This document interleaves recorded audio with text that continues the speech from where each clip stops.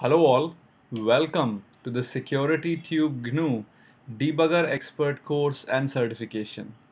This is video 6 and in this video we will look at an, a very interesting concept which is modifying data in memory as well as changing CPU registers at runtime.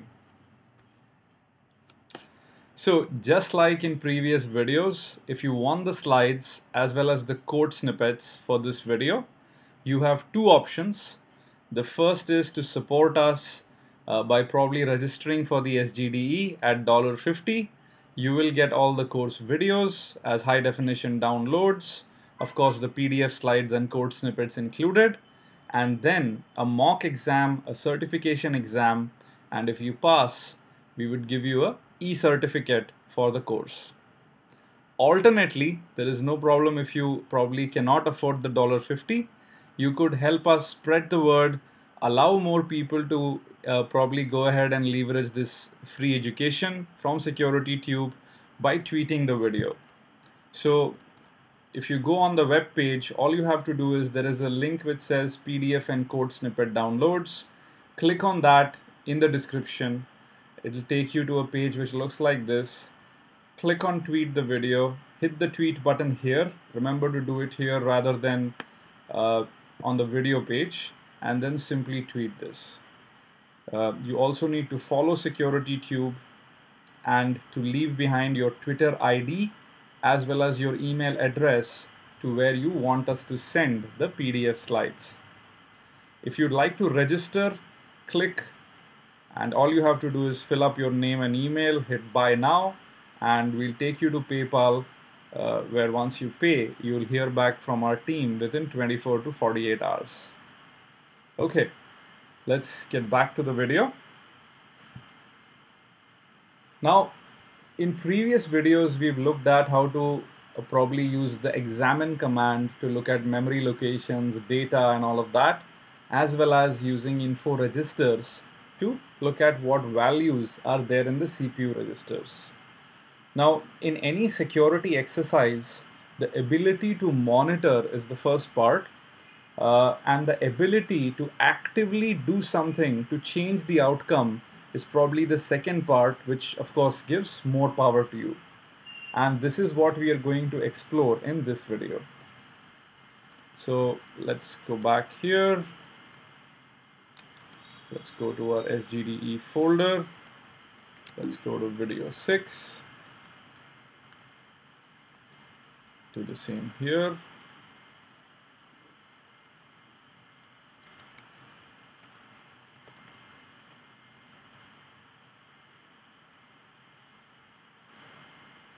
And let me open up the file.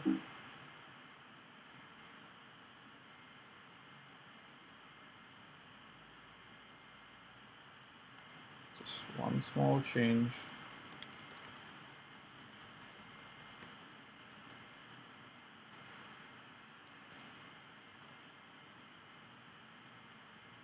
Okay, very simple program.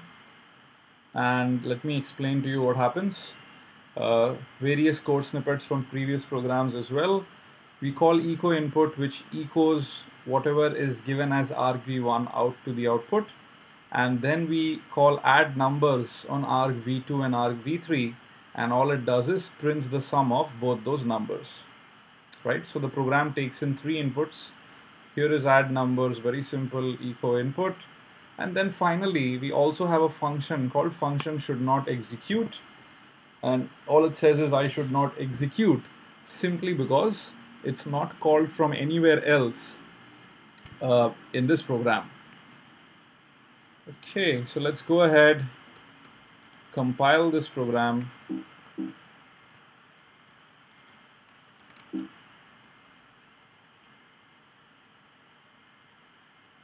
done. Let's run the program once. Three inputs let's say AAA 10 and 20 and as expected it basically gives out the first argv1 back to us prints it back to screen and adds the second the second and the third arguments passed to it and prints their sum right? Awesome. Now let's load this up in GDB Awesome. Now let's create a breakpoint at main. And now let's run the program with exactly the same arguments. You could run it with anything else as well. Awesome, we've hit our breakpoint. Now, typically, if you remember from previously, uh, when you want to go ahead and examine something, there are multiple ways to do it. So let's say I want to examine arg v1, there you go, arg v2, all of this using the print command and arg v3.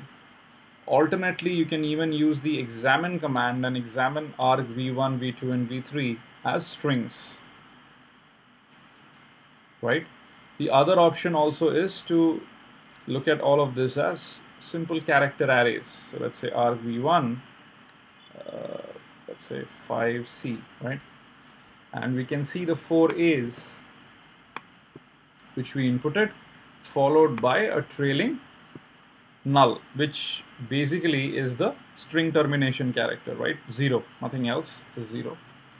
Uh, now what if we want to go ahead and change the value of argv1 at runtime, right?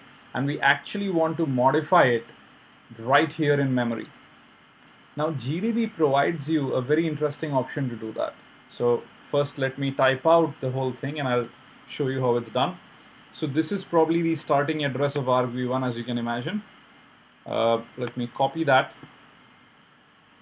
And now I'm going to use the command set open up my little curly brackets, char, and after that what I'm going to do is paste the memory address equals and now we can mention what this is right b what is this really doing? Well this basically is telling the set command that take up this memory location and interpret what is there as a single character to be changed or to be set which would mean just a single byte, and set it to this value, right, B, capital B. Let me hit the command, let me examine argv1 once again, and if you notice, the first character B has been changed, right? Awesome. So you could also alternately mention the ASCII value itself. You could do that by probably referring the ASCII table. Right, you could take specific values or if you remember already, so as I can see 65 is capital A, 66 is capital B, 67 would be interesting. And there you go. If you see, this is nothing but C, right? So the key thing here to remember is that whatever you write here as the data type to interpret is what set is going to interpret this memory location as or the beginning of this memory location and set this value within there. So as an example, let's say if you had said this is not a character, rather an integer, right? If you go back here, you would actually notice that something has been changed here. Now, the interesting thing is that you could play around with this as much as you like. And it would do interesting stuff. So if you notice, basically all of them are zero right now. Set it to one. Right? and if you notice this is being set to 1 right now. Now the key thing here is that whatever you mention here is what the interpretation is so keep that in mind. Now let me do the following let me change all the A's to basically B's. Right so let me go back here and say hey let this be a B right now I've taken as one character, which means I need to go ahead and mention the next value to be plus one, right? It's a byte, a single byte. Right, let this also be a B. Two, and then finally three, right? Let's just view all the locations again. and if you notice we have b set. Next value is b as well. Third one is b as well. And the fourth one is b as well. Awesome. Uh, let me go ahead run the program or allow it to continue till the end. And awesome. If you notice it basically printed out all b's which is the modified argv1 which we have done that in memory now let me run the program once again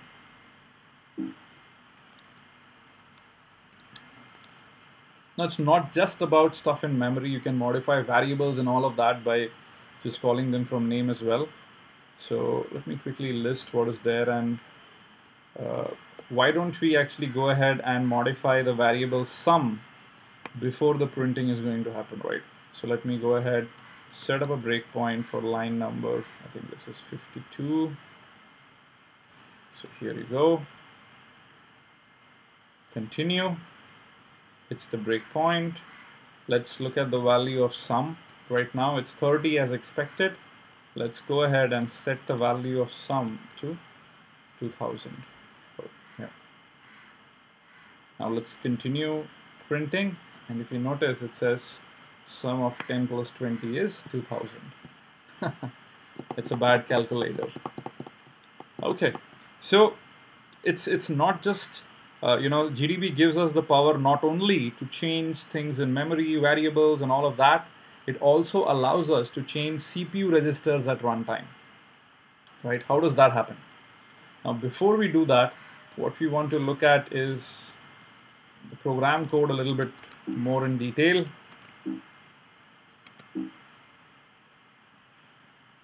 And we have a function here which says function should not execute, right?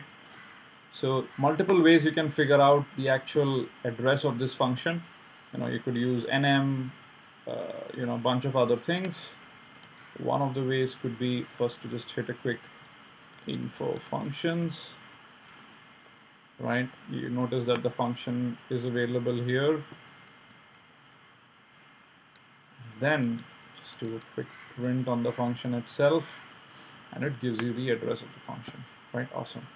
Now let me actually do a quick info registers. At this point there are no registers simply because the program is not running. So I'm copying the location of function should not execute and let me run this program once again with some inputs. Right, it's broken at main. Let's do a quick info registers. Right. Now, the point which I'd like to make is that you can modify, you know, these CPU registers.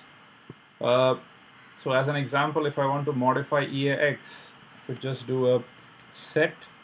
You have to put a dollar sign before all registers. EAX equals, let's say, 10.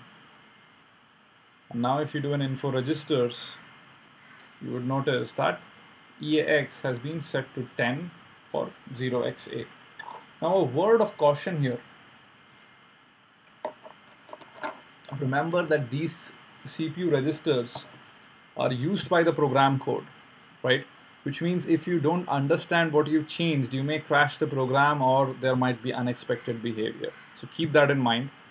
Uh, let me finish the whole run of this program right nothing happened right now but you know things have could have uh, caused an issue.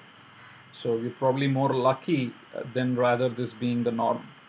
Now let me run the program again and let me do a quick info registers. Now one of the interesting registers if you probably you know looked at the assembly language videos which I had pointed you out in a previous uh, class was that EIP basically holds the location of the instruction to be executed next, right? Now, what we will do in this case is change the value of EIP to point to function should not execute. And that is as easy as just reassigning EIP to the address which we had copied for function should not execute. There you go. Let me clear the screen, hit continue. And if you notice, it just says I should not execute. But unfortunately, after that, there's a segmentation fault. Now, why does the segmentation fault happen? Is simply because once we call function should not execute and printf happens, uh, the code returns and when it returns, it pops out the return address from the stack.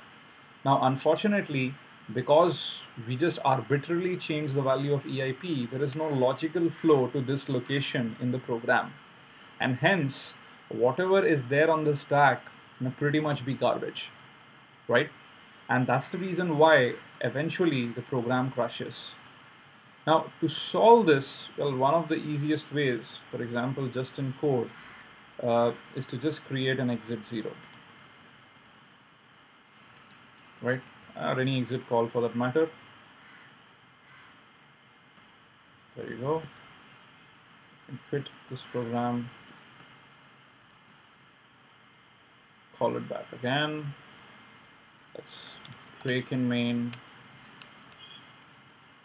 Let's do a quick info functions. So actually copy the function name. And then do a print on it to quickly get the address.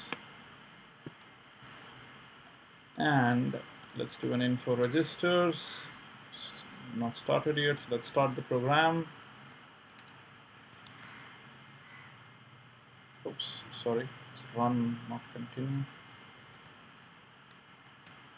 Right broken at main and let's set EIP equals function should not execute. Let's continue now. And if you notice it says program exited normally. And the simple reason this happened is because calling exit ensures that you know the final cleanup and all of that happens. And the function or the program rather uh, you know exits peacefully right awesome so let's recap what we learned in this video. We learned a couple of important things. The first is that we can modify uh, data in memory. We can change the variables at runtime. We can change the CPU registers including EIP. And this gives us a lot of power as someone debugging, disassembling, or trying to reverse engineer a program, right? The ability to change stuff around uh, from a reverse engineering perspective or even from a software cracking perspective if you want to test the security uh, you know of the software in question uh, is, is, is probably the single most important thing uh, which allows you to do a lot of interesting stuff right? Anyway let's go back to the slides. So that's all I had in mind for this video. Uh, please do tweet the video or register for the SGDE by paying $50 and I hope to see you in the next video. Thank you very much. Have a great day ahead. Bye-bye.